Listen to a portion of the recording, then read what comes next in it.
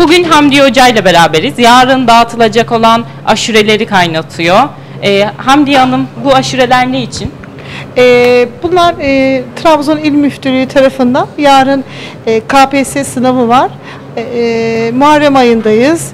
Muharrem ayı olduğu için de öğrencilerimize, KPSS'den çıkan öğrencilere e, aşure dağıtılacak. Biz şu anda onun hazırlığındayız. E, en alt sayımız e, 600-700. E, yani daha da yukarıda olabilir. İnşallah olacaktır. E, bunun hazırlıklarını yapmaktayız, pişiriyoruz.